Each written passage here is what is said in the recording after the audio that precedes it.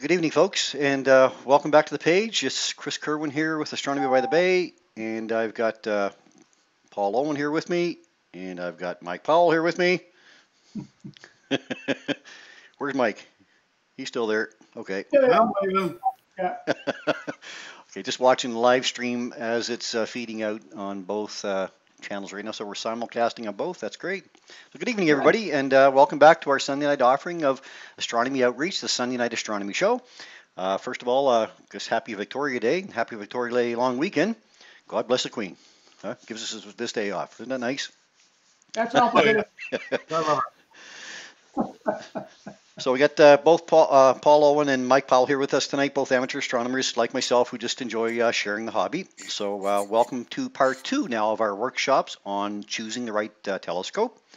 Now these workshops may run a little bit longer than an hour. Uh, we're not quite sure how this one is going to run out tonight, but uh, we hope you can stay with us as long as you can. So we have a lot of uh, material to cover here, and we want some time to answer your questions as well. Okay, somebody's got their sound down. There we go. That's better. Oh, thanks. so last week we talked all about optical tubes and the different types of optical tubes and the good and bad on each. And uh, tonight's show we're going to focus mostly on telescope mounts, uh, the different types of mounts, and the good and bad of each type.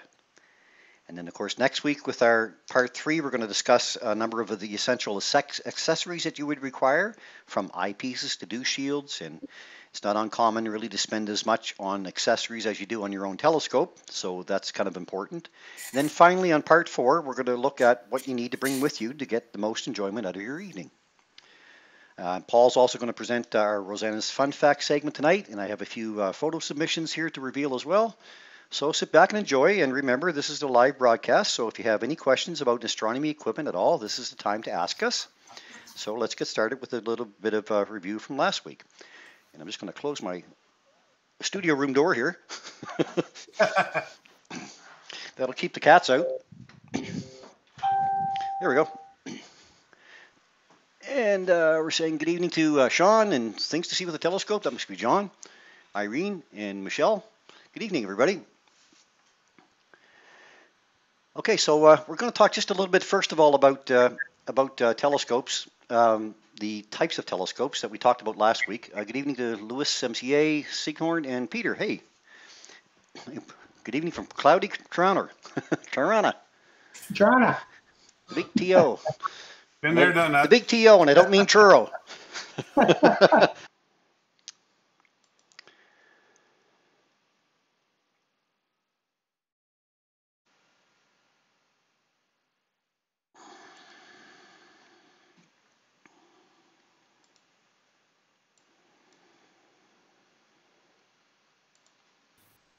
Yeah. Gentlemen, Yeah. Oh, he's back. I'm back. Just a second. I'm going to hang on just for one second. You guys talk amongst yourselves. Yeah, Well, we were. He's disturbed us. anyway, yeah. So uh, yeah, that's a pretty popular chip, that 294. It, uh, there's a few different companies that put it in their in their camera bodies, um, and um, and and for good reason. It's such a good chip for a Yeah. one-shot color. It's, it's, it's. Oh, there he is. Hey, yeah. So I, I found my son. Hey, Like, my, I think my I think my son was gaming on the network. So, Oh, my camera shop. oh boy. Oh, we, we were just talking just uh, uh, about Mike's camera, uh, Chris. Yes. So Mike was just uh, just filling us in on the camera a little bit. Okay. Yeah, it's just one of those times to step up with the big boys and get a, a dedicated Astro cam as opposed to using a DSLR. Exactly. Yeah, well, that's going to make a big difference. You'll uh, you'll notice it right away. Like uh, the biggest thing you're going to notice is in the noise because of the fact that your camera is going to have cooling with cooling with it built in, Yeah. a real uh, t- uh, tech cooling system. So uh, you'll be able to get your camera right down to wherever you want it. And the nice thing about it is you can get it down there no matter what your outside temperature is. So if you want to go minus 15 ambient, it doesn't make any difference. The camera just recognizes it as minus 15 and it'll stay nice, icy cold. And um, so if you want to shoot dark frames, eventually you'll get into doing that. If you want to shoot those, they have to be the same temperature as your lights, but you won't have to wait. Or sorry, you won't have to do it at the same time that you have to do with the DSLR because Right. you can cool the camera right exactly down to where it was the night before, the next day if you want to, and go ahead and do them then, right? Yeah, so you can keep your basically go back to those set parameters anytime you like. Yeah, exactly. yeah, exactly. So that in itself is uh, it's worth its weight in gold. But the camera itself is very good. It's efficient. It's really flexible, and as you know, it's a great uh, planetary camera.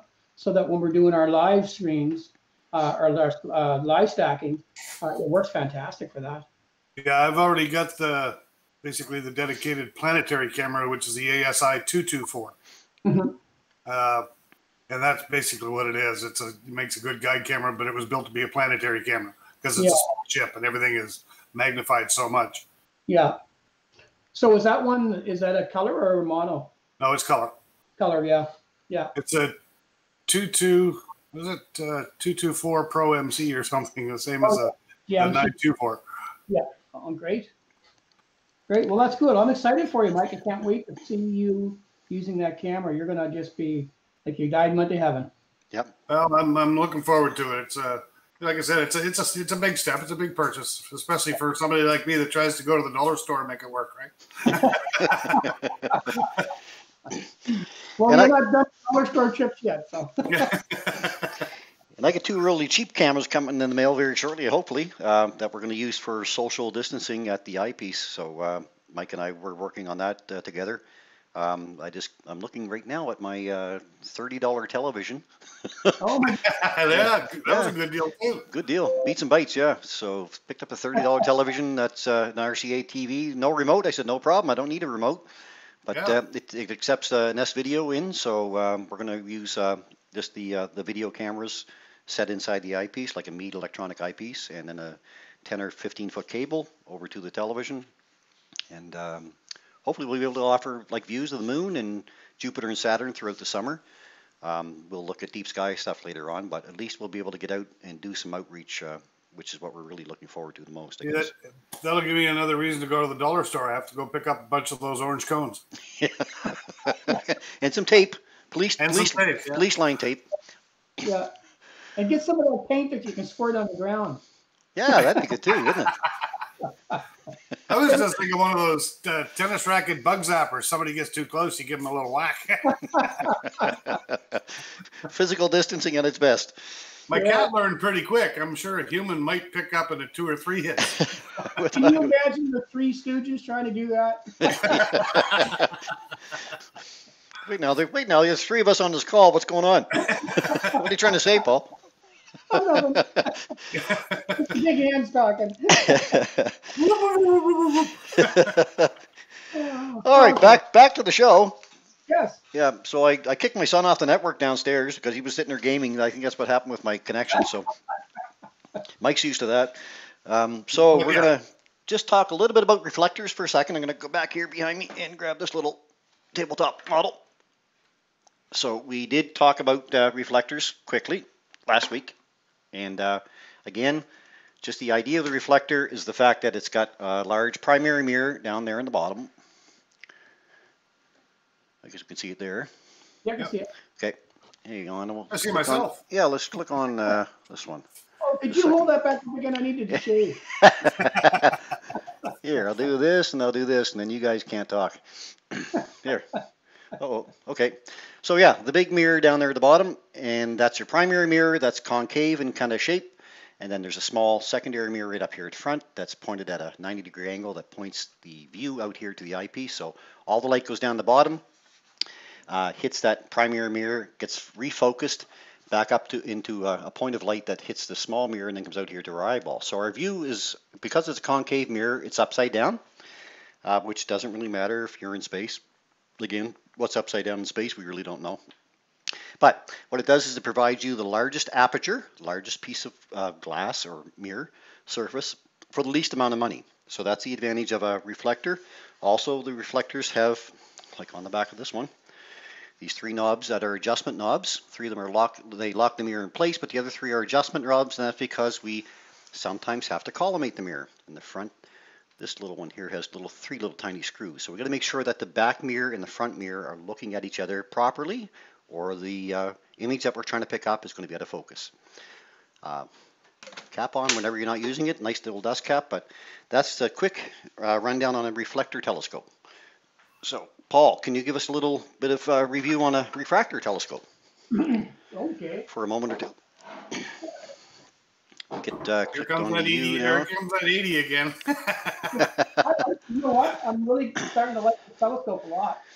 So um, I'm just going to put my screen on so I can see me. There we are. So basically, what I talked about uh, real briefly was uh, refractors. And what refractors are are um, the most basic form of telescope. They were the, certainly the, the first form of telescope that was ever made. A really, really simple design. Light goes through the lens. Lens goes down through the tube. It focuses at a certain point. That's when you use your focuser to move your eyepiece. There we go. Back and forth so it finds that perfect focal point. Once it got it, you look down there. Uh, most refractors, you don't need to collimate, so they're always ready to go. And most refractors are relatively small, so uh, the cool down time on a refractor is uh, usually, you know, within a half an hour, 45 minutes at most if you've got like a 150 millimeter, you know, refractor, something really big and three pieces of glass. Uh, a little bit longer to cool down, but other than that, they're simple to use. They're lightweight. Uh, you can put them on a tripod, just like I did this, just a camera tripod. And if you want to uh, have a nice grab and go and get out there a refractor, that's the guy to go with. Perfect. Thank you. Okay. All right, and uh, let's flip over to Mike here. Uh, Oh, you want to do my part? you did that so well. so basically, uh, what I talked about last week was uh, compound telescopes, which is a, a, a little bit of both. It's got a corrector plate in the front like a lens, and it's got mirrors like a reflector. Uh, you know, there's this an eight inch Schmidt-Cassegrain right here behind me. At some point, they say every astronomer will eventually own a Schmidt-Cass at one point in their uh, career, uh, and there's a good reason for it. Uh, you don't have to collimate it as much as a road normal reflector telescope, where you have to collimate back mirror and the front mirror together. This one, you only have to collimate the front mirror, and if you put a set of Bob's knobs on them, you can collimate it in a matter of seconds, and it gives you good views. You can still get large aperture, but what it does is being a compound scope with a lens and a mirror is they've shortened the length. You'd normally, you know, uh, an eight inch f10 would be about four feet long. And because it folds the light, comes in the front, bounces off a primary mirror at the back, up off a secondary mirror at the front again, and then back to the eyepiece, you've shortened that optical tube up to probably at least half. So the good part about that, it makes it portable. It's easy to pack and uh, fairly light. Uh, again, collimation is relatively easy. You only have to collimate the one mirror instead of two. And uh, you know, they say that the the Schmidt-Cassegrain telescope is not great at anything, but it is good at everything. It's good at deep space. It's good at planetary, and uh, all around. You still get a fairly large aperture for a lower price than you would if you say bought an eight-inch refractor, uh, because of the, what the glass costs to polish. It would cost you a fortune. So you can still get a large aperture, uh, still get a good mirror, and still get good views for a fairly good price. So that's compound scopes. Perfect. Thanks, Mike. Okay, so we've covered optical tubes now. Uh, so the next part that we wanted to talk about uh, tonight is about mounts. So uh, when we get through all of this show, when it's all done here, when we've done the four parts uh, on our on our last week, we're going to do a little bit of a wrap up on what we've covered over the, the previous three weeks. But we want we're trying to give you enough information so that you can go out and make a sound decision on your own. Uh, when they start talking about optical tubes, what do you want? A reflector, refractor, or SCT tube? Then you'll get an idea of what of what they're discussing. Now, next we want to talk about is mounts, and mounts really are most important because your telescope is not going to perform properly your optical tube unless you're sitting on the right mount. Um, so we can have mounts that are. Uh, let me see if I can flip us over here. I'm gonna. I got a little uh, Bushnell here. Maybe I'll bring that up, guys. I'm gonna flip my camera here. Hey, there I am. There you are. Oh, got to show off my uh, Bob Ross uh, shirt here. You put a little light right Painting the. Milky Way. Yeah. we put a little uh, nebula right over here. anyway, so here's a nice uh, EQ1. I mean, this is probably a pretty popular uh, design. Let me uh, move my chair out of the way. I get limited space here, but I'm going to try to get an idea. So this is what a lot of us may have, may have uh, assumed we were going to get when we purchased a telescope. And it provides you with uh, both axes. Um, it has to be polar aligned. And they're not a bad idea. Like an EQ1 isn't a bad idea. It's better than no telescope for sure. But the problem with them is that they're they become they can become difficult to to get to learn. And for a beginner, they are difficult. Um, so I like an alt-az uh, tele. uh, This one can be used in alt-az mode if you wanted to flip uh, flip a couple of pieces here, and you can actually use it like this around so horizontally and then vertically this way. But it's kind of awkward to do it that way as well. Um, but the worst part about this mount is not just the fact that it's it's fairly loose in in in gears on the EQ1, but it also has a lot of movement. So if I was outside with this telescope and sits on an aluminum tripod, and I happen to have any kind of a breeze at all, um, the telescope is going to do this. Maybe you can't see it, but it's going to shake a lot. Yeah. So there are tricks that you can do. Uh, you can actually take the the centerpiece here, the support, and you can uh, tie a shopping bag off the edge of that, put some rocks in it, and that will, will uh, lower the center of gravity of the uh, of the tripod, so it'll it'll uh, hold better. That's one way, of course, but uh, you can still run into a, a, lot of problems even uh, when you're not using uh, legs that are this, I'll say this beefy, because this is fairly beefy, but they're only like inch and a quarter legs, so they're they're going to give you a lot of problems when you're trying to spend some time looking at an object because the telescope is going to move around a lot, and it's going to be difficult to control. You do have these two knobs that will allow you to to run the scope on both axes, but uh, they are still a very difficult uh, mount to get used to. And I, I would suggest that there's probably hundreds of these style of, of telescopes sitting in closets all across North America right now because people uh, couldn't, before the days of YouTube, uh, they couldn't get these, uh, these working properly. Um, guys, any comments? I have found finally the perfect use for an EQ1 mount. Uh, Okay. I've taken it and I've done all the things. I put sand in the legs to beef it up. I've taken it apart. I've added uh, Teflon sheets for bearings.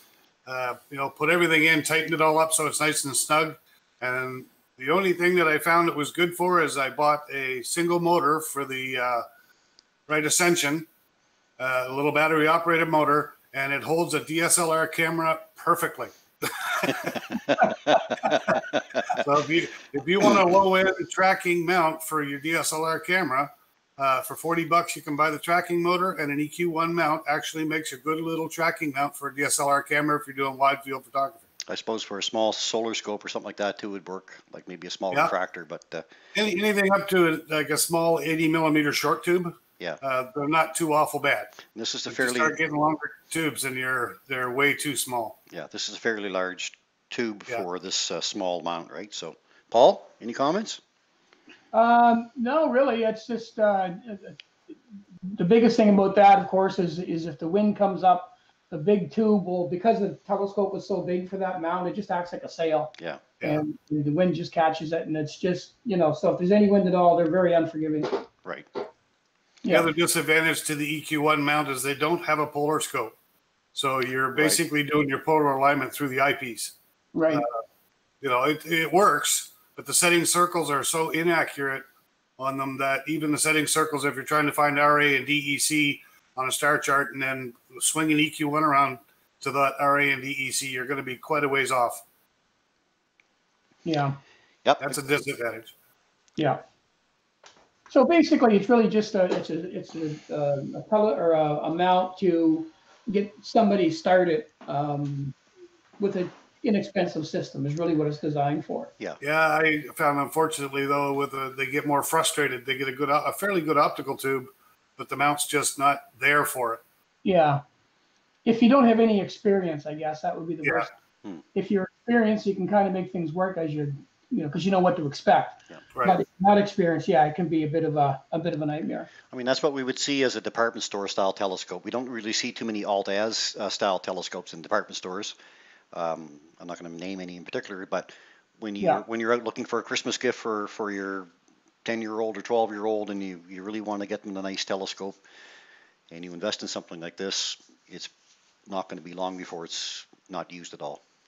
Right. I think Yeah. that's that's that's the bottom line with them. I mean, you know, the optics aren't too bad. Um, I've looked through this one as far as looking at the moon and planets with it. It's not bad. Uh, but uh, as far as using an EQ1 mount and getting used to it, I mean, now you've got YouTube and things like that. I know that you can go back and take a look at, spend some time on. But you're going to spend a lot more time learning the telescope than you are looking at the stars. You know, there's that, Yeah. that my, my famous saying, your mount can never be too big. Right, exactly. Yeah. Yeah. Yeah. So that's, that's the problem with the poor quality mount. Um, and again, y- you know, if you don't have a telescope, uh, if you have, this is your telescope, great.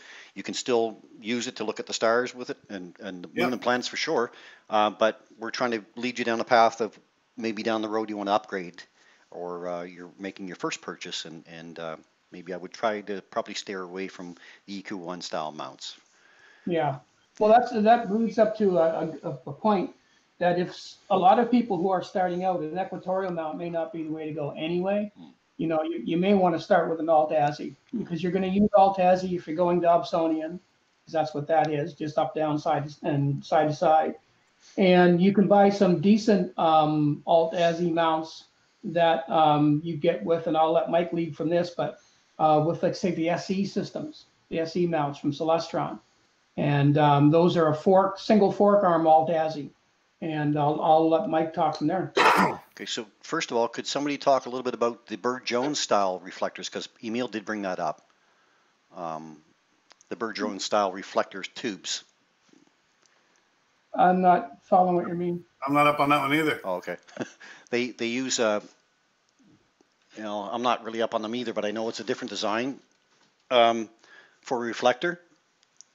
They uh, use a corrector in there. And, Okay. Yeah, they use a corrector to uh, maybe Oh. Emil maybe Emil can give us an explanation here while he's watching. Oh, okay, so if there's a corrector in there, it would be to correct coma. Yeah. Because if you're, if you're actually imaging with the Newtonian or a Dobsonian type of a telescope, um, and your camera um, uh, sensor is flat. And with the Newtonian uh, or, or mirror designs, they're designed when you're looking through an eyepiece, typically through a curved piece of glass. So um, what those correctors do is, is, is those, and what I mean by coma is in the corners of, of the, of the images, there's going to be these almost, they look like little arrows. And so instead of the stars being round right out to the edge, if you look through, a, um, try to image through a reflector, all of your stars all around the edge of the circle are going to be little arrows. So you have to have what we call a coma corrector to fix that. So what he may be talking about, and again, I'm just assuming this, but what he may be talking about is that corrector, instead of buying a separate coma corrector, having it built right into your telescope so you can use it both for imaging and for uh, observing. So I know I think what he was uh, so Emil did comment back. He said it's a type that has the correcting lens stuck inside the focuser drop tube. Uh, Right. not not a coma corrector, but uh, a type that has a correcting lens inside it, and it's to correct cheaper spherical mirrors. Perhaps Okay. something we can research for a future episode. Yeah, that's yeah okay. I, I thought it was a Barlow they put in there. Like the Celestron C130 has what I thought was a Barlow because it does have uh, a longer focal length, but it's still in the short, shorter tube. Yeah. And I'm wondering if I'm thinking the same thing he is. Is that's that what that's, that, that's uh, what it is. That's the Bird Jones reflector style. Yeah. Okay, yeah, yeah. Well, thanks, Emil. I, Yeah. uh, Thanks, I Emil. didn't- I didn't, I'm not that familiar with those, so. Um, so uh, Luis MCA is mentioning, so with a better mount, the Bushnell and its cousins would work reasonably well. Um, yes, I guess so. Um, the, the mount is really the idea here uh, for stability, right? So yeah, I mean, I've got, I mean, my 12 inch Dob back here is a reflector style telescope and it's sitting on a nice mount. So that's what allows it to perform properly. Um, so yes, uh, Lewis, I guess if you had a better mount, uh, a Bushnell, which is, I mean, it's it's a it's in, it's intro level uh, reflector for sure. a lot of plastic parts on it. That's the only thing about them. Um, and they can be adjusted. I mean, you can you can collimate the mirrors, okay, but uh, yes, you could you could install you could take a reflector and, and put it on a, a different style mount or or heavier mount actually. Okay, so let's uh, so if we were going to talk about alt-az, Paul did mention alt-az uh, versus equatorial. So maybe I'll just take a second. We're going to probably each talk about what we like, I guess, right? So Yeah. me, me, it's Dobsonian. So uh, Dobsonian mount is, uh, let me get this one back here. You can still see me. Move my chair again. Roll this table over. And we're not going to look at this little guy over here. So that's not the same. But this guy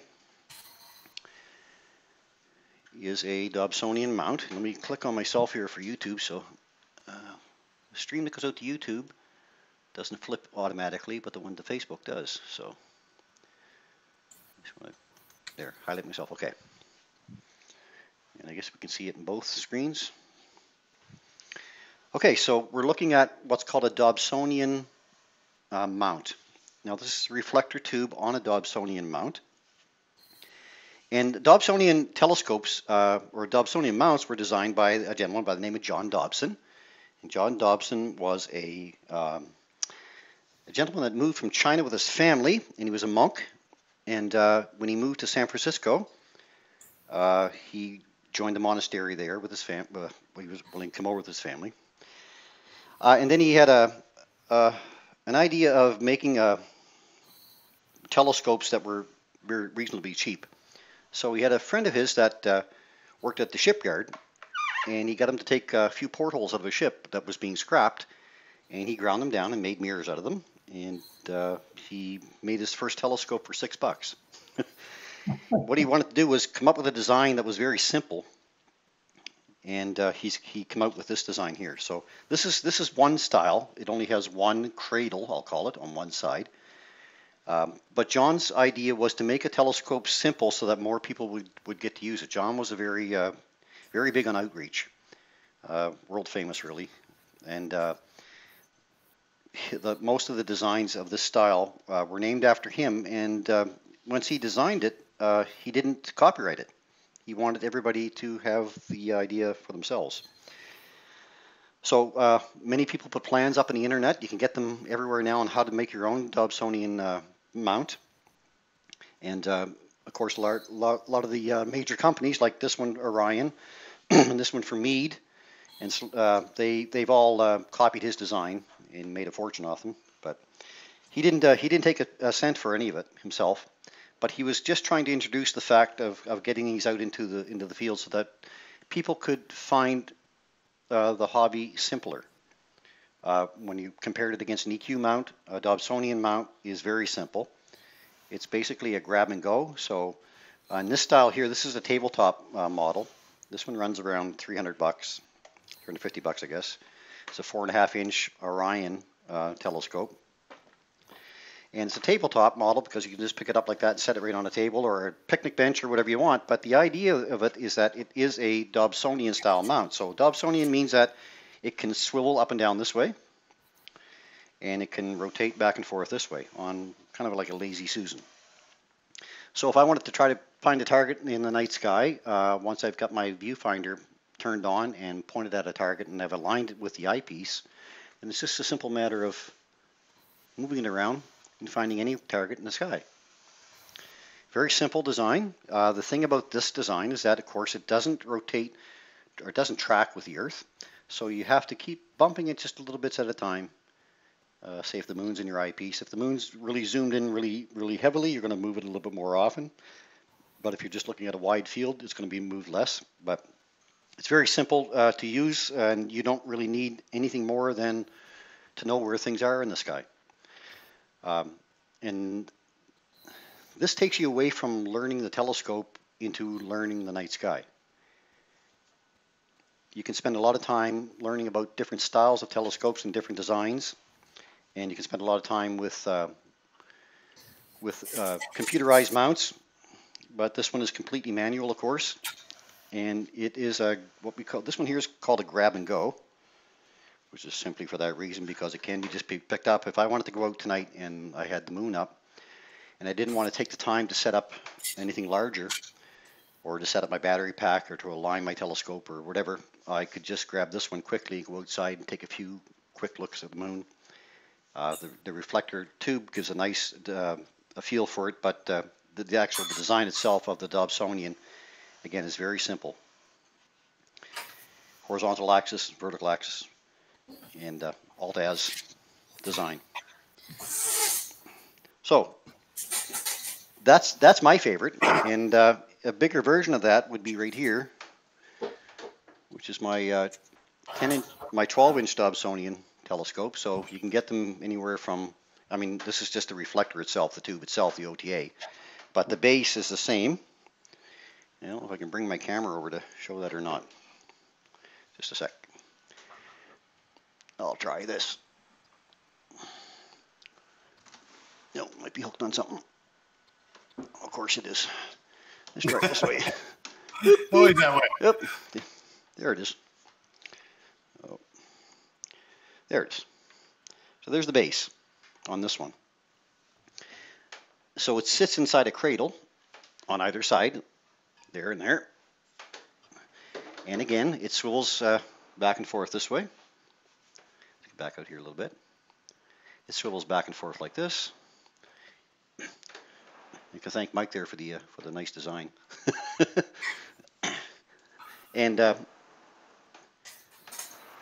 rotates in its cradle like this. So we're getting the same idea. It's Alt-Az. So we can find any target again in the sky by either rotating the telescope or moving it up and down in its cradle. Pretty simple.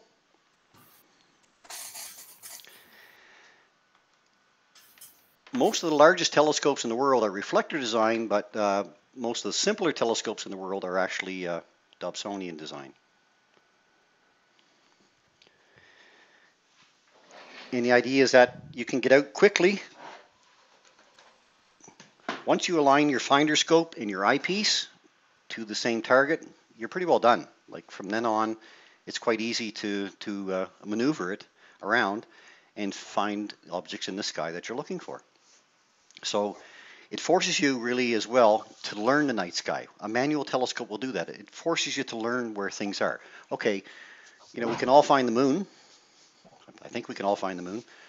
But also, when we look at our morning sky right now, we've got Jupiter, Saturn, and Mars up. So if you were to go to their morning sky or even our summertime sky coming up, you'll pick out a couple of planets and the moon. Well, there's a good start. Then you just start taking chunks of the sky, like the constellation Cygnus or the constellation of Orion, and you start looking at those and trying to find what's inside those uh, those targets. So if I have a map of New Brunswick and I want to find Saint John, once I have the map of New Brunswick, I can find Saint John easy enough. And that's all you're doing is breaking the sky down into 88 pieces and scanning around those pieces to try to find things that that uh, that look good. But you're spending a lot more time now looking at the sky than you are actually working on the mount and worried about the mount. So I guess that's why I like Dobsonians the best. For me, it, I find simple is best. Um, I choose to spend more money on accessories or other other things and more time at outreach, I guess, because of that simple fact. And uh, a Dobsonian telescope is easy to, uh, to introduce somebody to, so it's a great beginner's telescope. Um, so I guess that's what I would say about Dobsonians. Don't know if I missed, if I've left anything out, guys. You guys are, please comment if you like. Oh, but I can, uh, I guess we lost Paul there for a second. That's uh, we get talking about uh, a Dob is basically an Alt-Az mount, and we were talking about that little EQ1 with the Bushnell on it. I just so happened to grab this one. This is an Alt-Az mount as well. Let me see if you can see it. Yeah, this is an Alt-Az mount as well, but it's a little bit beefier than that EQ1 mount. So if you were gonna, you know, take uh, that optical tube, you have the Bushnell or a short tube uh, refra- uh, refractor like this. This type of Alt-Az mount is a good little way to go. It has clutches so that you can spin it and lock it. And it has a clutch on the uh, uh, alt side, so again, you can move it up and down and you can lock it. and it has both slow motion controls on the alt and the az, so you can fine tune your way in on top of a uh, on an object. But it sits on a, a little bit beefier tripod. That's a little bit beefier mount holding it. It's got a little more weight to it, and that would hold uh, that longer Bushnell tube a little bit better than that EQ1 mount's doing. It's a, it's still a good you know uh, mount to go with. It's relatively solid. It's probably you know the best bang for the buck I've seen for an Alt-Az mount on the market. If you're looking for you know a simple Alt-Az, there are some very expensive ones out there. Like anything else, you can buy a Rolls Royce or you can buy a Volkswagen. hmm. But uh, you know, uh, one uh, a simple Alt-Az like this one is a great little grab and go. It's small, it's steady. The wind doesn't shake this thing with a short tube ref, uh, refractor on it. And I'm sure with that uh, Bushnell reflector on it, this mount would probably be a lot more steady than it is on that EQ1 mount. So, you know, there, there are some really good uh, small alt-az mounts out there that you can get to put your optical tube on. You, know, you only, buy it separate. The only thing we really have to do, Mike, I guess, is, is with this uh, re- this reflector is change the uh, dovetail on the bottom, right? To have yeah, you basically put a dovetail on it and uh, you know it, it's real easy. They just spin off, and there you go. You're you're disconnected.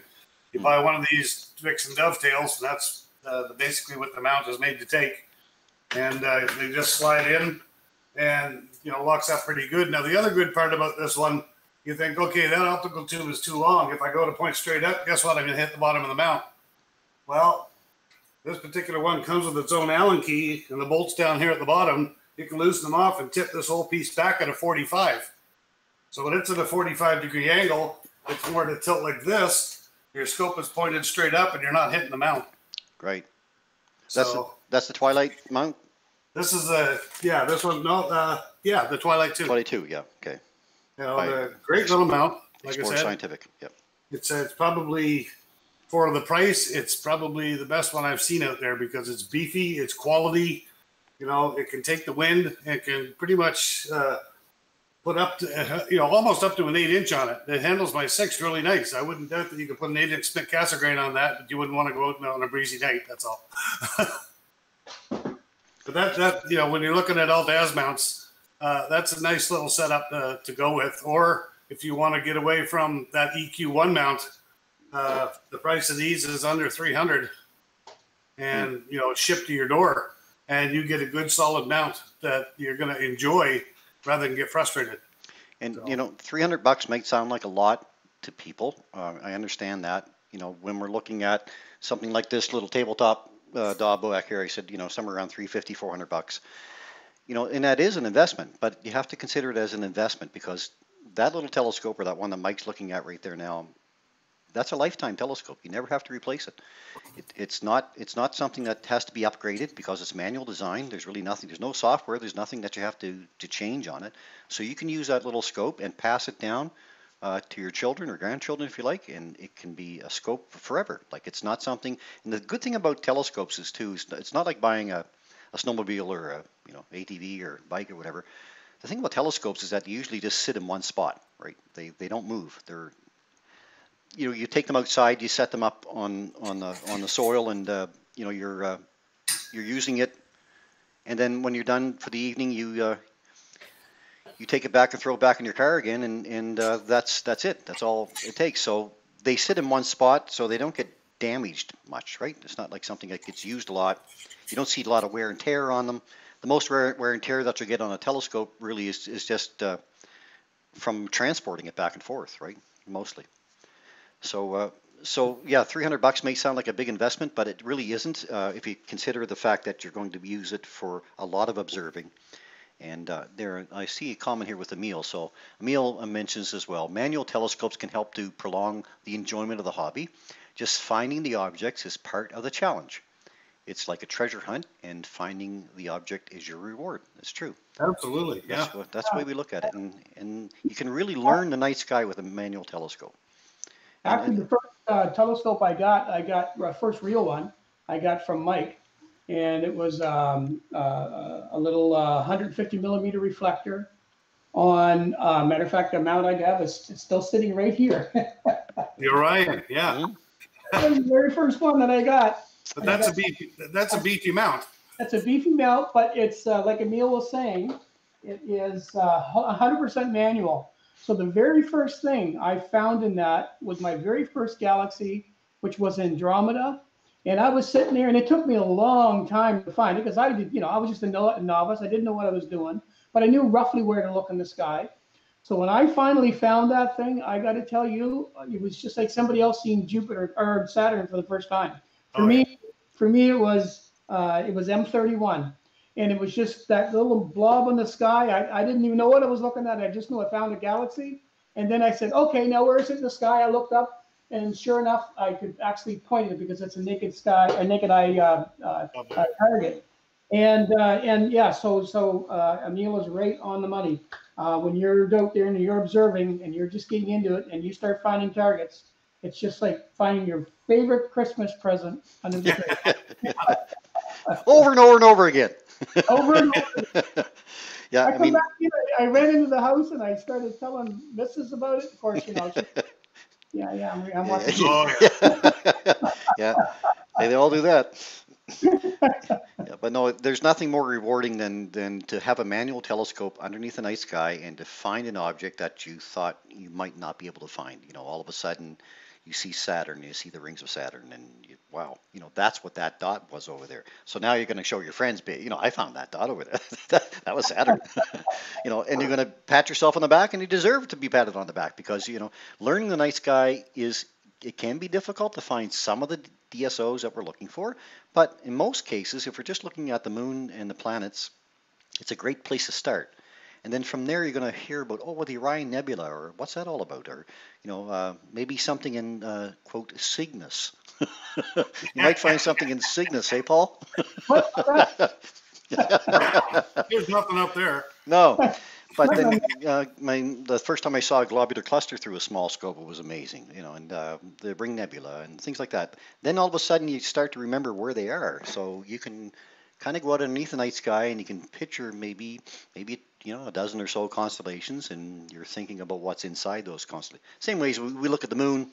We've always looked at the moon one particular way, but then when we see see it through a telescope, you never look at the moon quite the same again, right? So. Yeah, All those odd cheaters at the star party, though, when you hit the laser on a go-to scope at an object, and everybody's job spins around and points towards where the laser went. so uh, speaking of go-to scopes, uh, so maybe we'll get back into a different kind of mount.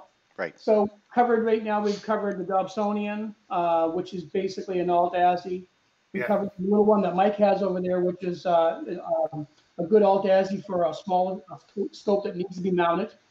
And then there's, of course, is the German equatorial mounts, and there's um, those are certainly more complicated to use than um, you know than an alt ASI mount. Uh, only in the the fact that you have to know how to track the night sky.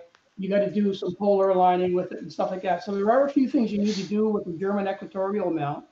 But when you're choosing your mount, you need to decide what am I going to do with this mount? Am I just going to do observing?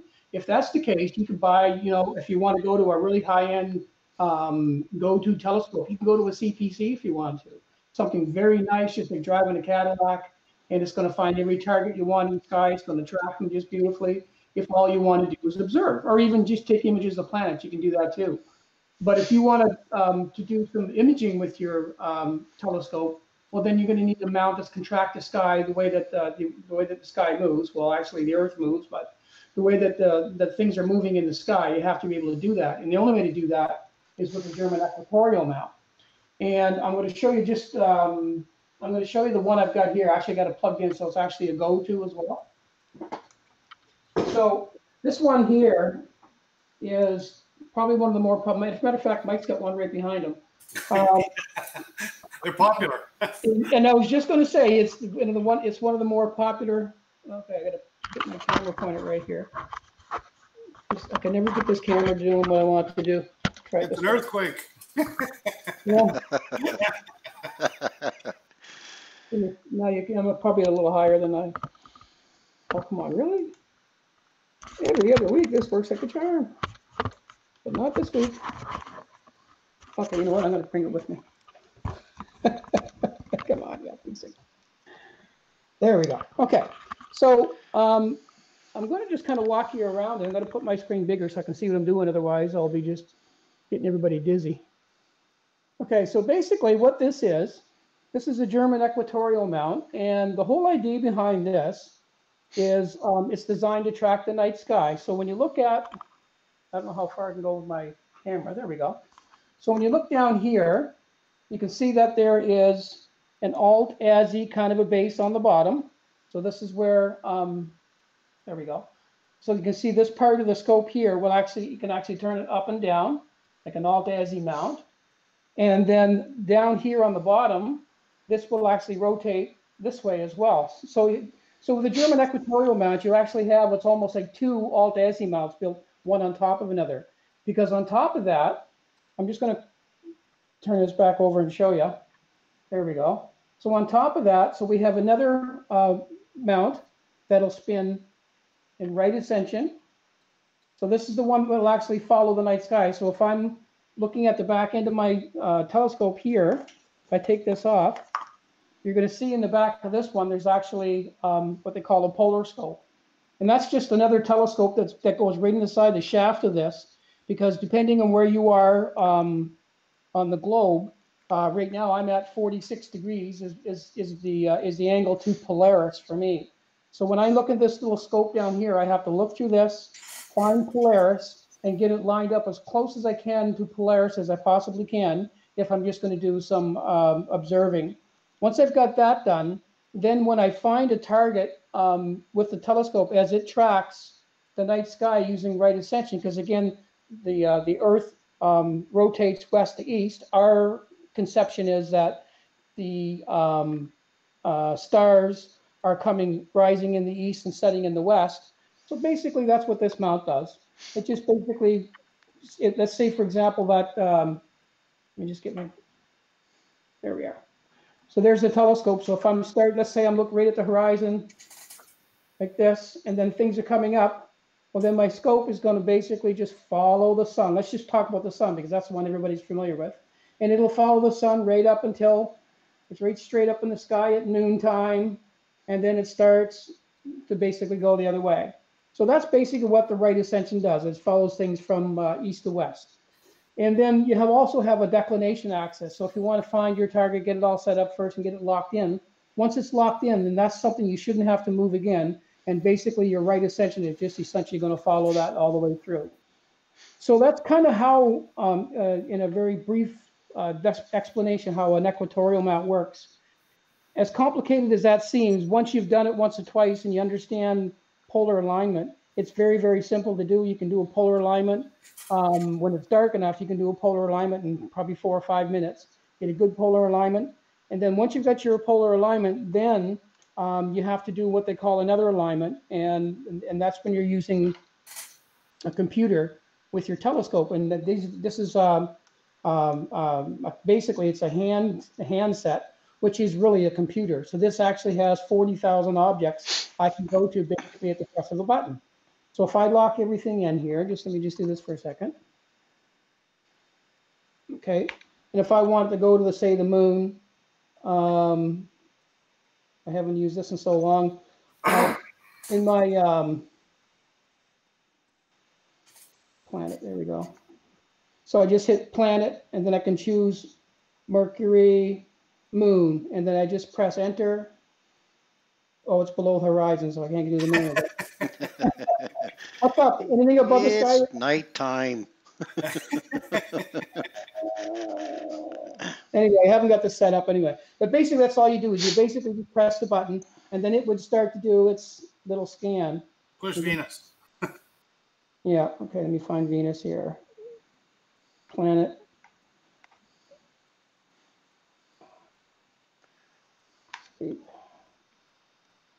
Start with a V. Yeah.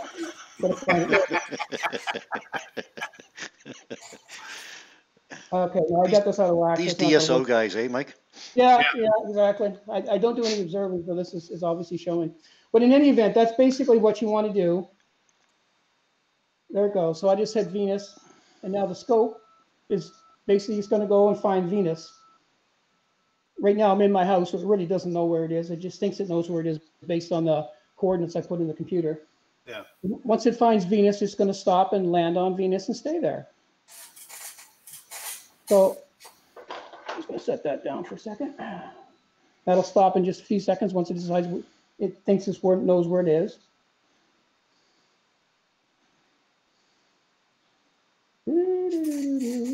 Uh-oh, Uh-oh, uh-oh, stop. where does it say Venus is? When I says whoa, I means whoa. It's right on the horizon, according to that. Apparently on the horizon. Basically, how a, how a go-to works, you just basically push the, put the thing into it in a way, let me get this camera working, I cannot get anything working right today. There.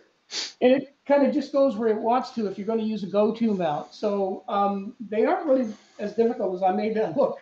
They're really quite simple to use. Well, once you catch on, and the biggest thing with the German equatorial mount is, first of all, you have to understand that you do need to do a polar alignment on it if you want to track the sky properly. If you want to use an electronic one, uh, once you've got the sky tracked on it properly, then basically you just punch in what you want to look at and it'll go there. Unlike the manual one where you kind of you look around and find things. The other side of the coin with this one is is the mount itself.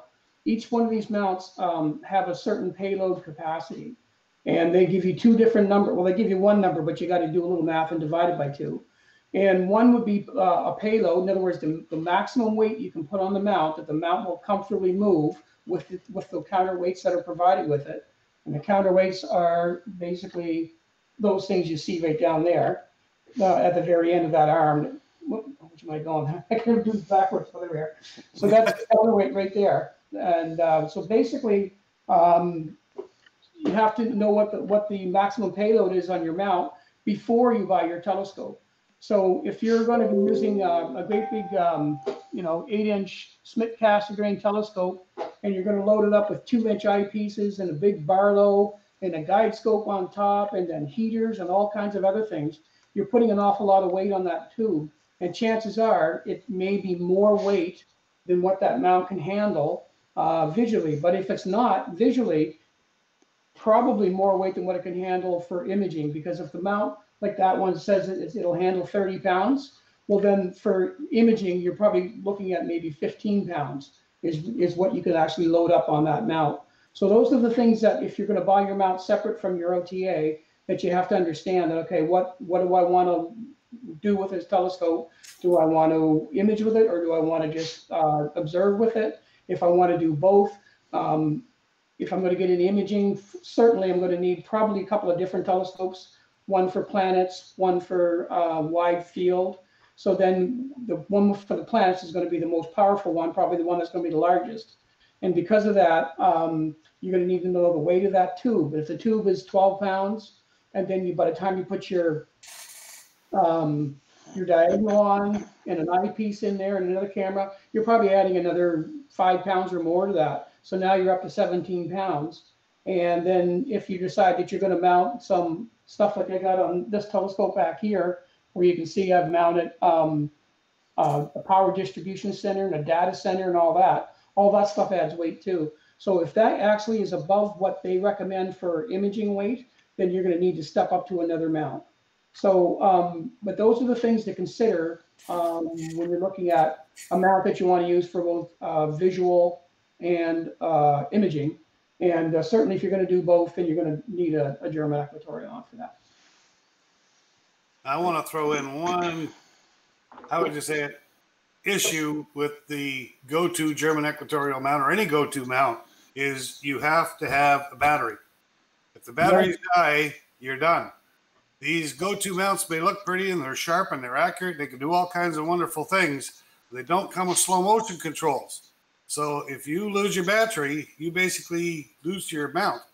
You know, you can use clutches and undo them, but you ever try in the dark to loosen off two clutches and move a scope around to find an object in the sky, then try to reach over and tighten that uh, clutch again, and Yeah. it's virtually impossible. So I, I think if you go, you know, if you're a, a manual mount has slow motion control, and you can sit and adjust that all night long, and you can move from target to target, and then as your target slowly moves, you know, across the eyepiece, you can use the slow motion controls and adjust it back in.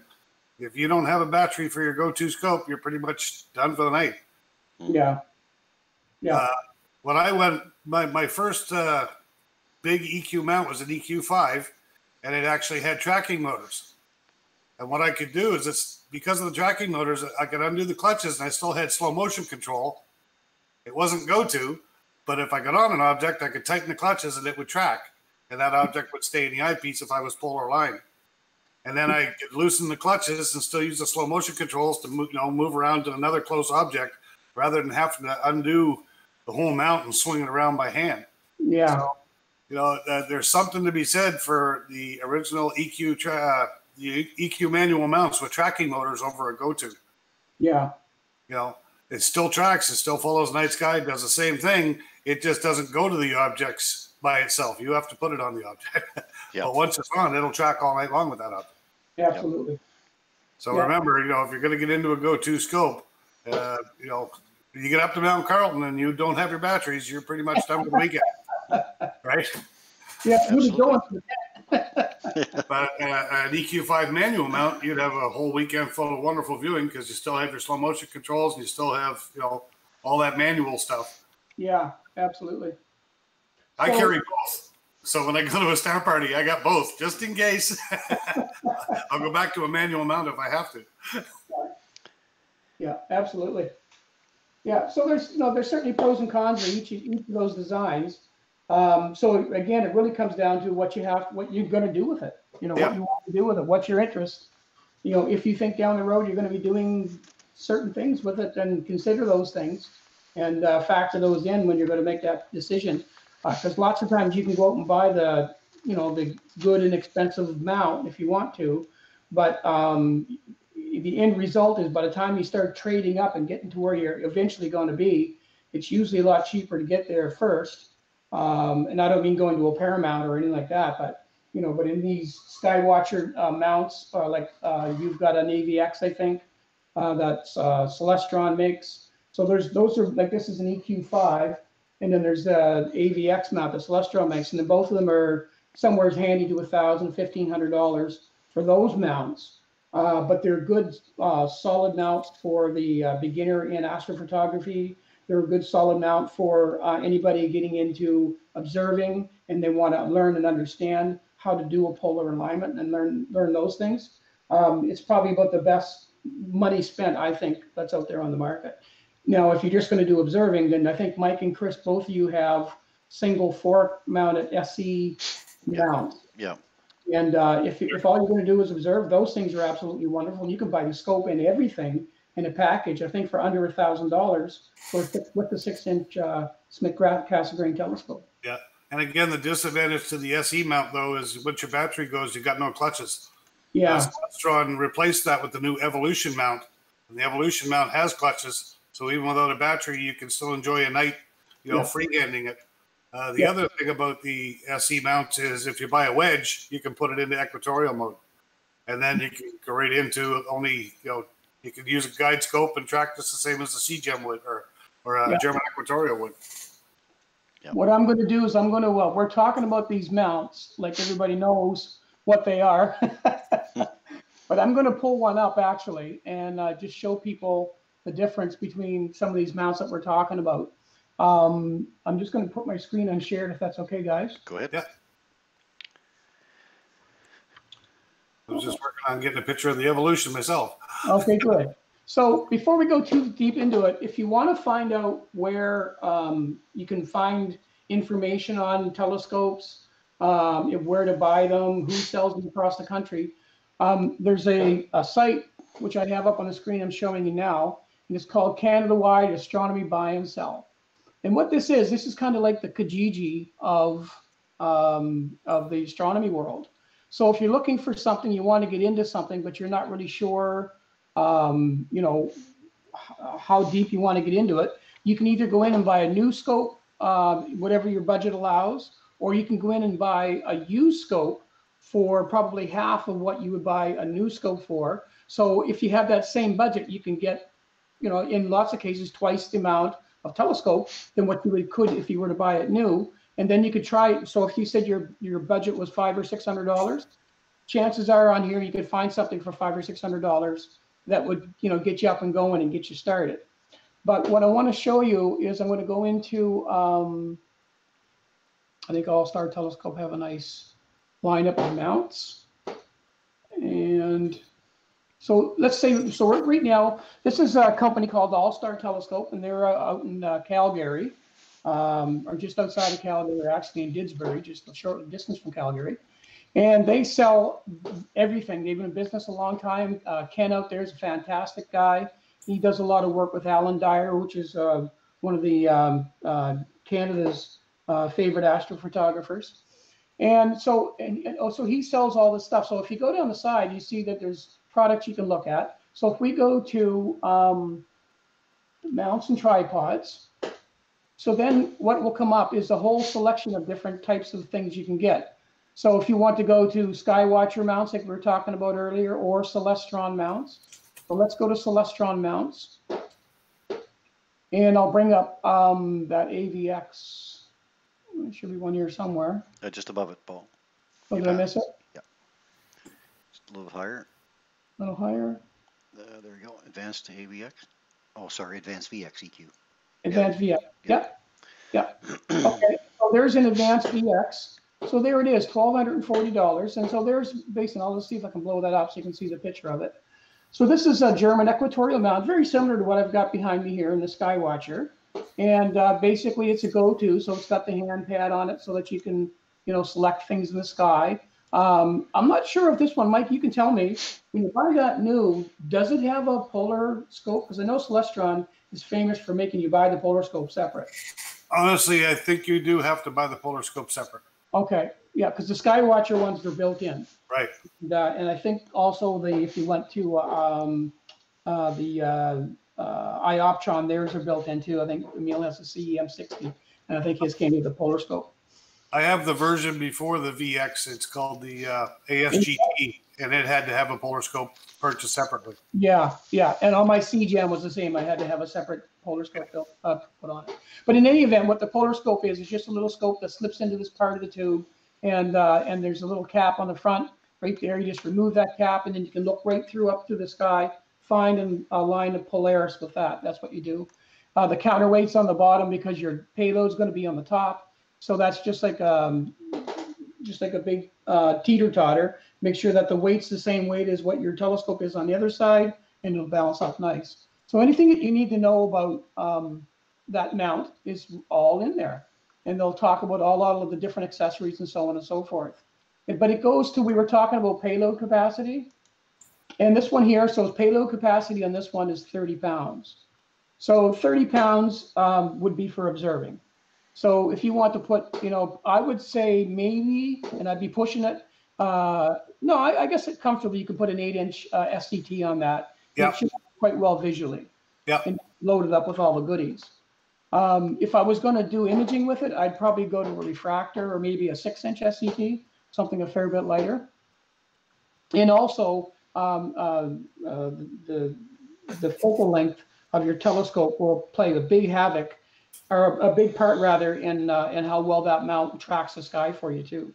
So if you're using a, a refractor like we showed you earlier, because there's such a short focal length, you know, because it's such a wide field of view, there's a lot of forgiveness in how the mount tracks. But you start pushing up there with 2,000 plus millimeters of focal length, then you want to make sure that your, you know, your mount is really um, polar aligned well, that kind of stuff. So there's things like that that you have to consider. That's all.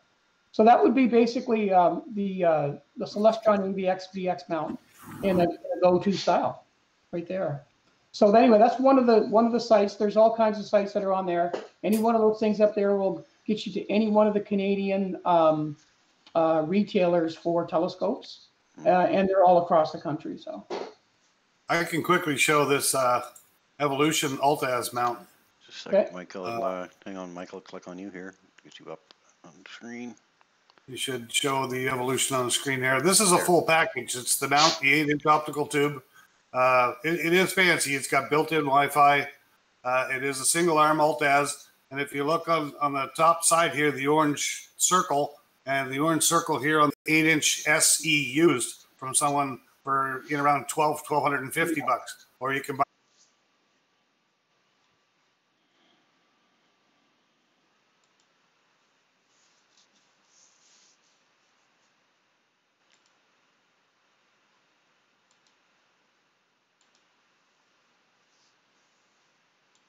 Around it for sure. Hey Any guys, questions up there, Chris? sorry about that. We just uh, were off call there for a second. We're back. Hi, everybody. No, we lost we lost the YouTube feed for a second, so I had to bring it back. We're good. Okay, Yeah. Any questions? Uh, don't see any questions on the YouTube stream. Looking for some on on Facebook. Just a second here. Uh, no questions, uh, comments, I guess. Uh, this would be more of an accessory, but would you recommend an EQ platform for DOB users? Of those little tracking uh, plates that go on, uh, on the bottom of your Dob. Uh, if you want to keep it in the center of the eyepiece for about an hour, that might, you know, it's an expensive way to keep it uh, the object in the center for your eyepiece, as far as I'm concerned. Uh, you know, yes, lots of people have them. They're out there, uh, and there's some. You know, you can build your own actually relatively cheap. Uh, but to me, I, I would, uh, I, I personally don't see a great use for them. Yeah, there's uh, there are like the go-to uh, style, right?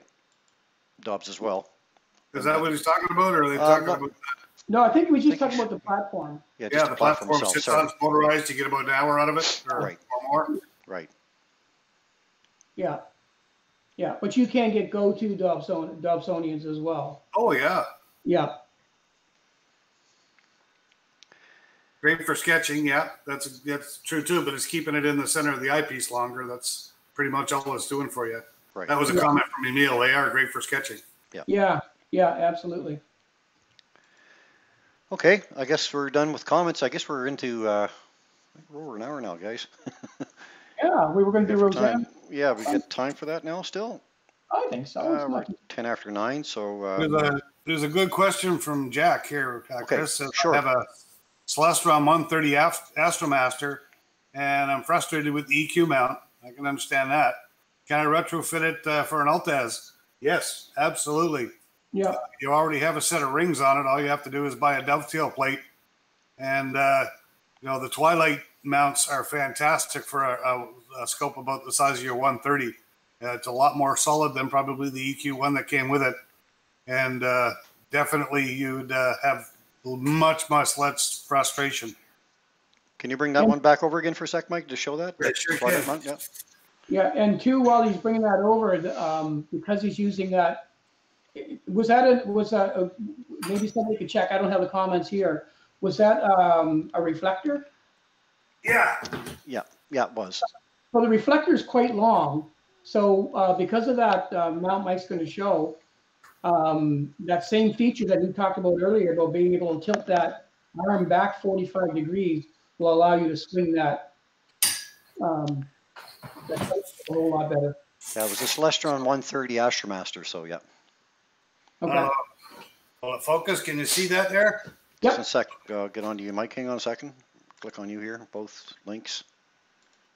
There we go. Do we get my camera to focus here? Yeah. Uh, You're good. So your 130 Astromaster is not much bigger than this uh, Skywatcher. Right back, guys. And, uh, this is one step down. This is a 114. But uh, like I said, your Astromaster 130 is not a whole lot bigger. And you can snap that right on there. And you've got uh, nice slow motion controls, good steady movement. And uh, even in the wind, this mount is as solid as a rock. So I would say, yeah, your C1, your, your uh, Celestron 130 would mount on one of these Twilights real easy. You fix the dovetail. Okay. If that helps. there's, a, there's a Twilight 2 with basically the same the same scope. This is a 114, but uh, there's a what four or four inch as opposed to your five inch on the 130. And I put this scope on this, this mount all the time. And Emil says, uh, when using an Altaz, if things are too close to the zenith, you simply observe other things and wait an hour. wait An hour, yeah. That's it. That's exactly it. Like I said, this, uh, this part will swing down, and yeah, it may hit, but uh, with this mount, you can uh, basically loosen off the bolts down here and tip this back 45 degrees, and that's what it's for. So you'll get zenith, and the tu- and the optical tube won't hit the mount. I just have it set up for a small refractor right now, and I don't have to worry about that. Yeah. Yeah. Excellent. But yeah, So- that's a good question. What do they run, Mike? About uh, 300 bucks or so? What I they, think they're, they're probably under 300 shipped to your door. Okay. Uh, if you look around, I forget where we were getting the ones for the club, but uh, it cost me under 300 to have it shipped to my house. Nice. Okay. So Yeah, So- and they're solid too. What's, can you, can you lift it up, Mike, and show the, the base? yeah, So Yeah. is that, so that's a one and a half inch, uh, uh, steel tube? one and a quarter inch legs, I think, and then uh, you know the, you got this the center uh, The spreader? spreader, and then that tightens up and holds the legs out tight. Yeah, And then uh, if you can look at the bottom, I don't know if I can show it here, but the legs will expand out, so this stands up pretty high, yeah, and uh, it's still good and solid. I I swear by these mounts for for people like the beginner. We got one from Egg. Yeah. Uh, we got a couple for the club, or at Yeah. least one for the club for the solar scope, and uh, it's the best bang for the buck that I found for uh, a, a beginner alt-az mount that's got some actual beef to it. Yeah, it's really rugged. yeah, So, And that's the thing to keep, like we talked about earlier, is that, uh, you know, the rickety style mounts are going to frustrate you because you're looking at something through telescope that's magnified. And the more you magnify, the, the shakier your image is going to get as well, right? So, I think it was uh, I had I think it was uh, an Astrotech Altaz mount, and uh, I paid almost five hundred dollars for it. And these this mount is actually better. Yeah, The Astrotech the legs had an issue. Uh, with this one, it, it, it, it, they're just a good all around uh, you know alt-az mount for smaller scopes. Anything up to say uh, six inch, six inch reflector, six inch Schmidt Cassegrain, or you know any reflector that's a short tube or refractor that's a short tube. Sorry, uh, it's a good all around beginner's mount. and you're back to a grab and go style as well because you, you know, you can take Yeah. that without taking a battery pack with you. And Absolutely, it has you know clutches and slow motion controls and everything you need. so, lots of good nights at the beach with this puppy. yes, sir. Hopefully more of them soon. I know that, um, uh, Matt uses, uh, he's got an ETX. And, uh, he retrofitted it so he could put it on a mount, and that's what he uses, I think. Yeah, this is what he uses. Yeah, Yeah, it works absolutely wonderful. It's, uh, As it's said, a great it's, little uh, beefy mount. but we looked at other ones in the two hundred and fifty dollar range uh, by Celestron and Orion, and I'm sorry, but they were as cheap as EQ one.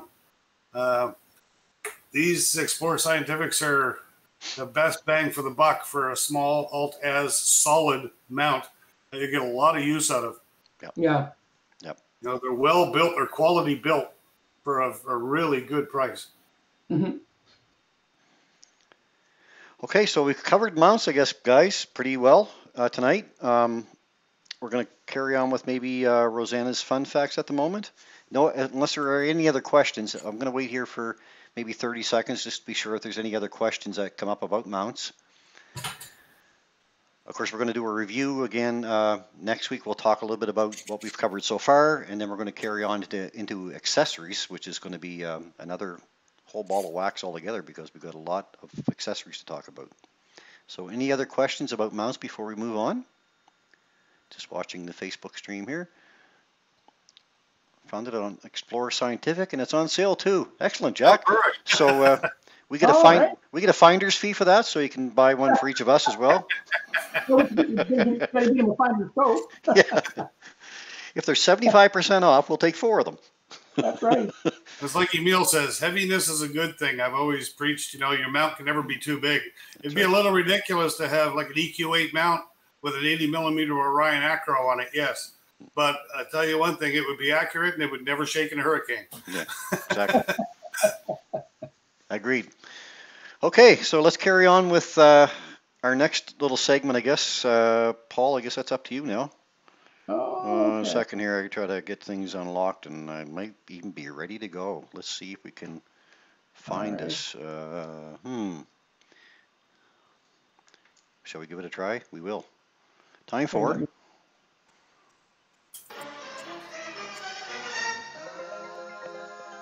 Rosanna's Fun Fact.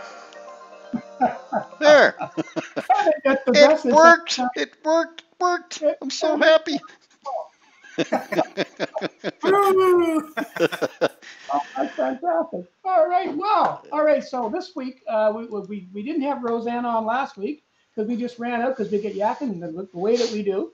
And uh, so this week, uh, we're going to talk a little bit about comets and things like that. So, so Rosanna says uh, comets are notoriously fickle, uh, breaking promises, and more than just a few astronomers have had their hopes dashed when predicted brightening turns into a fizzled dud instead of like Comet Atlas did earlier this year.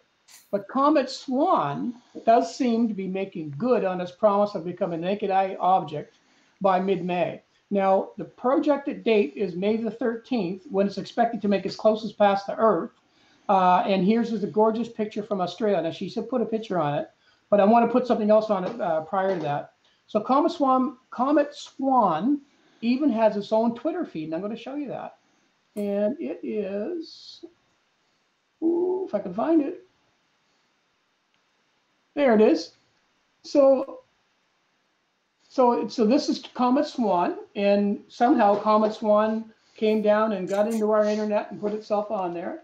It says, "Hi, I am the brightest comet in the sky. I am already visible to the naked eye. Follow me for updates on my distance and my position."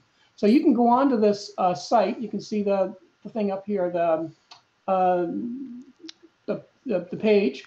And uh, basically every day there's a little tweet. And it, as it goes on, it uh, just gives you a little different information. Down here says, Dear Earthlings, every week I choose three stars among my followers. Today's winners are, and then there's people that you can kind of um, interact with this little uh, tweeter thing, or Twitter thing. And uh, basically there's a picture of Swan right there. Now, Comet Swan is invisible to us right now. It's in the constellation Triangulum, but happens to be right now. Triangulum is very close and it sets close to where the sun does uh, at this stage in time. So it's going to be a while before we get to see it. But um, so that's the little um, Twitter page on Comet Swan. Now, Rosanna goes on to talk us talk, talk to us about um, uh, if you're a Twitter fan website sponsor that Twitter feed is. Okay, now there's another website that she gives us, which tells you exactly where the swan is and answers almost every possible question you could have. And that would be this one here, and this is called the Sky Live. And so this is your guide to solar system and the night sky. And right now there's a section right in there all about Comet Swan, where its uh, coordinates are, the constellation that it's in, the observable magnitude, and the visibility right now. And it tells you all kinds of different things about it. So you can go to either of those um, uh, sites and uh, keep your eye uh, on the comet, as it were. And uh, so if you missed the Lyrids in April, and perhaps the almost full moon, the last of supermoons in 2020, uh, washed out, of course, the Eta Aquariids earlier this week, this week on May the 5th and 6th. So she wrote this last week. Cross your fingers and start tracking Comet Swan because it looks promising. And that is this week's. Uh, da, da, da, da. Hang on. I think we got it. I think we got it. Oh, oh, oh. Hang on. There it is. Cue the words. Rosanna's Fun Fact. Thank you very much, Rosanna. Oh, the stress. The stress you guys put me under. oh, excellent. Okay. Um, so let's, thanks, Paul. Appreciate that. And Rosanna, thank you very much for those uh, facts on Comet Swan. We're hoping to gonna, we're going to get a chance to see it uh, soon in our sky. Actually, it, it is up in, uh, it's going to be in Perseus, I think, very shortly. So it will be up in our evening sky, uh, but and then early morning, um, of course, before the sun comes up. So it's uh, it hasn't been promising right yet, but we're still hoping that once it rounds the sun, we might get a chance to to see it flare up. So let's see what happens. Anyway, um, I did want to take a second and, uh, if I can, second here, I got to get some stuff out of my way. Uh, I think I can do it this way. Oh, sec. Oh, ain't gonna work that way either. No. There we go. Oh, come on. come on. Ain't gonna stubborn. happen, ain't gonna happen. Be stubborn. Hmm, I don't want to close my window.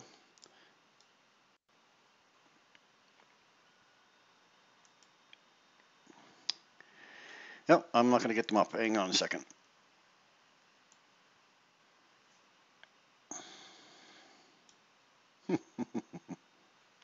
Oh, Oh, I hate when does this on me.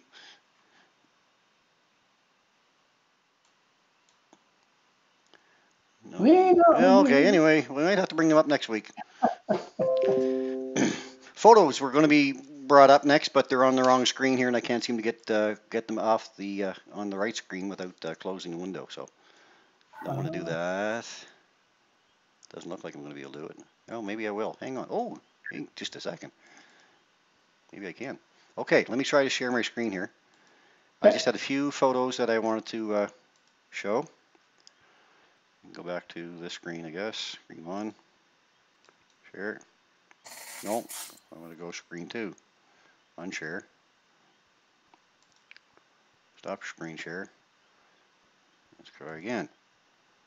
Share screen two. See if that comes up.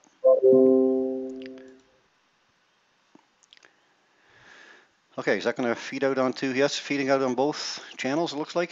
Okay, so I had a few photos here. Um, one here from Irene Doyle from her balcony. I'm going to have to bring it over this way, I guess. Shot of the moon from her balcony. Oh, look at that. Yeah, nice. So, uh, is- so, is, is Irene online right now? I think she's online. She might be. Uh, Is that co- coming up or is that going down? Uh, yes. I, I didn't. I didn't ask her, but she did have a nice shot of the uh, moon here too, super moon. Just a sec. Uh, bring that one over. There we go. I'm not very good at this, but uh, there. Wow, that's a big moon. That's Nice a, wow. I said, "Wow, did you take that picture?" She, "Yep, she did," and uh, she captured it very well. That And the sun still lights up the electrical poles. Look, like they're orange. Yeah, That's cool. it is cool. Very nice. Um, okay, so let me uh, make sure that I'm clicked on over this one. And, uh, oh, you know me. Let me try again. Okay.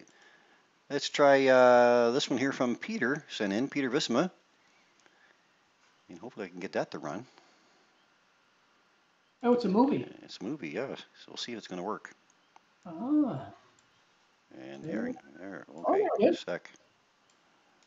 So it's the rising Oh. moon, but we don't have sound because we can't get sound on Google Hangouts. We saw that before, right? So let's go back to the beginning here.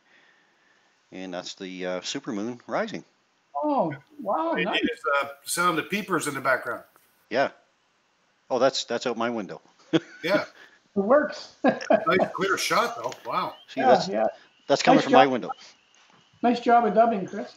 Thanks. When did you get, when did you get a night like that one? Because I couldn't see it that crisp. That's, that's It's amazing. beautiful, Peter. it is. Beautiful. Unreal. Yeah. Wow. Very well done. Yeah, That must have been Very between crisp. snowstorms that we had. I think so. okay, You so can- that's You can really see the, the Maria there, eh? oh, See? un- un- unreal. Yeah, and the uh, the detail here around the even around the edge, right? Oh, that's beautiful. Very Nice crisp. job. Very well done, Peter. Yes. Uh, Tim says, I think I saw Comet Pan-STARRS last night around midnight between Polaris and the uh, POI terminal stars of the Big Dipper. Looks somewhat really? like a globular cluster. Yeah. Uh, Irene Doyle says yes, that she's on here. Thanks, Dave. Okay. yes. Yeah. So thanks, Peter. Yeah. And I'm going to drop that one out of the way. And uh, I did want to make a comment quickly about uh, this, the Starlink mission. Um, that we're all big fans of. We all love Starlink. uh, get this to full screen. Yeah, so Starlink is, um, of course, the satellites that have, uh, there are 420 of them up there right now. There was supposed to be Starlink 7 launch this week. I guess it's really 8, but uh, Starlink 0 was the first one. So they've got 420 satellites up now. This was going to be another 60 going up out of 12,000 that will be up over the next few years. Um, and the launch was supposed to take place uh, this morning. and it was uh, scrubbed uh, because of uh, Atlas flight had to be uh, launched first, I guess, and then uh, it was due to bad weather, and then uh, they had looked at it for tomorrow, and it's been scrubbed for tomorrow again. So um, it's looking at uh, the 19th, I guess, uh, No, before it was going to go. Mistaken, Chris, aren't these ones, some of these ones supposed to have that new coating they're gonna try to see if it's non-reflective? Well, they have a, what they call visor sat. So Yeah. it's going to be a flip up uh, visor, basically. It's a transparent piece of foam that will allow sunlight to penetrate it and, and uh, recharge the solar panels, but it won't uh, allow sunlight to reflect back through it again. So Okay. um, we don't know how many of them are going to, they didn't really say how many are going to be uh, lit, uh, lit up like that or how many are going to be equipped with the visor sat. Right? But there's two things that they're planning on doing. Uh, one of them is to equip them with these visor sat. Uh, it's almost like a sun shield that would fit in your windshield of your car. And uh, the second thing is that they're going to rotate them a bit so that when they do come up over the horizon, they're they're going to uh, their, their panels aren't going to be facing uh, back to us. So there's two tech two things that they're going to try to uh, incorporate over the next little while. But with this particular mission here, I, I don't think they got all the visor sats. It's just more or less a sample. And then I think with uh, Starlink mission number eight, which is really number nine, the next one after this, they'll they'll all be equipped with visor sats. And uh, Is that, is that after they had a look at them to make sure they are gonna work? These are yeah, just sort of runs? yeah, Yeah, that's these what are trial. Yeah, these are trial. These Okay. ones. Yeah, Uh, but anyway, the so the launch is, was scrubbed today. It's got scrubbed tomorrow. It goes on um, Tuesday, I guess. well, it's gonna be clean if it gets scrubbed twice. so yeah anyway it goes on the 19th and uh, so i think the first time we get a chance to see it would be the 20th um, and you can go to heavens above uh, website to look it up. You can look at starlink 7 uh, the launch time is actually 4 in the morning so it's not going to be a nice uh, evening pass like we saw um, on the last one. So you're going to have to get up nice and early to pick, pick up this one. Uh, but of course if you get up that early you're going to get to see uh, the few planets in the morning sky too so that's always worthwhile uh, but we're going to catch them around 4:30 in the morning uh, on the 20th. They'll be about a magnitude 3.8, which is not very bright. That's about the same as brightness maybe of Polaris, maybe a little bit dimmer than Polaris. But the following morning, they're going to be about 1.6. Uh, and in between each level of magnitude is about two and a half times exponentially brighter. So uh, we're going to see them about five times brighter on the pre on the on the following day. So if I was going to pick one of the two days, and I was really a big fan of Starlink, then I would want to probably pick the Wednesday, like um, the day after the, the launch, uh, to, to get to see them.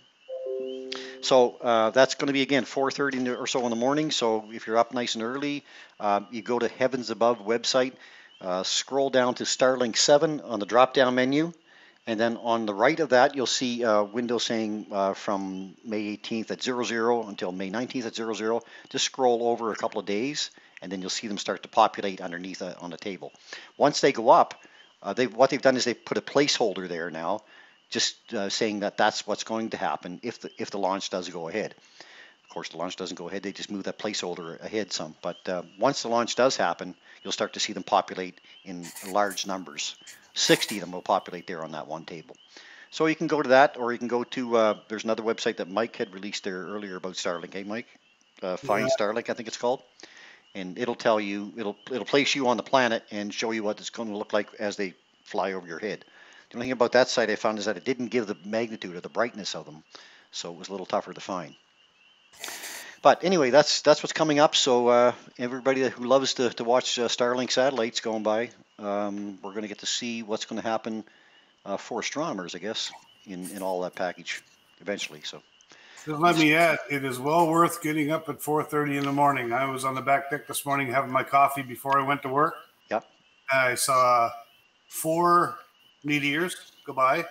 One was a very long tail, went up just after them. And we've got that for a couple, couple more days, maybe. The moon, I think it's up. I think we're Yeah. getting very close to news, so I think we got a couple more days. Uh, but yeah, beautiful views of, of Jupiter and Saturn if you're out in the early morning sky right now. And Mars is out there too right now. And uh, Mars is going to continue to get a little bit brighter in our sky. It's going to switch over to our evening sky here shortly uh, as we catch up to it because we're coming up to opposition with Mars here shortly as well. So uh, we'll Here have. this, here this morning it was plus seven and zero wind. It was just incredible. Wow. And why'd you go to work? Kimmy makes me. Well, folks, I guess that's it for tonight. Uh, we're into uh, an hour and 33 minutes. Wow. Does time ever go, go by fast when you're having a few laughs? So uh, I think what we're going to do is, is call that a night uh, for tonight as far as mounts go. Remember, next week now we're going to talk all about accessories. So uh, next week we'll be talking about eyepieces, uh, diagonals, dew shields, battery packs, all these things that'll make your evening a little bit more uh, right up Mike's alley. all these things that'll make your uh, your uh, evening of observing uh, a lot more pleasant. Uh, so, in closing tonight, I'd like to thank uh, each and every one of you again for your continued support of our efforts here. Uh, I wanted to remind you again that we do love getting your photos, and please send them in to Sunday Night Astronomy Show, all one word, at gmail.com, and we will collect them for our next show after the workshops. Before I sign off, I have to say uh, hello to my brother Danny, who Oh, yeah. Tunes in, Dan. Yeah, who tunes into us every week. Uh, he said he missed last week and was really upset about it, but we appreciate him coming by every week. So thanks, Dan. And my special thanks again, of course, to Rosanna Armstrong for her Fun Facts episode. And of course, uh, Mike and Paul here for their continued contributions to the show. I would also uh, ask that if you enjoyed the content here tonight, please consider giving us a like on the episode and please consider subscribing if you haven't already done so on YouTube. I also like to ask that you share with your friends and family that we are live every Sunday night. And uh, finally, we'd like to wish all of you a good health and safe week. Congratulations to all of you here in New Brunswick for continuing to flatten the curve. We're doing very well here in the province. We had 120 cases. All cases have recovered. So we just have to keep our guard up for a little bit longer now. And although the majority of our star parties have been now been canceled for this year, we are still looking forward to sharing the views with you again from our favorite local spot, Saints Rest Beach, uh, just outside the confines of the Irving Nature Park. And I'm very glad that we do have this program even uh, to uh, offer you uh, to keep us in touch. So remember, folks, uh, keep washing those hands, practice your social distancing for a little while longer, stay at home if you can, and know that we are here to help entertain you each week at the same time.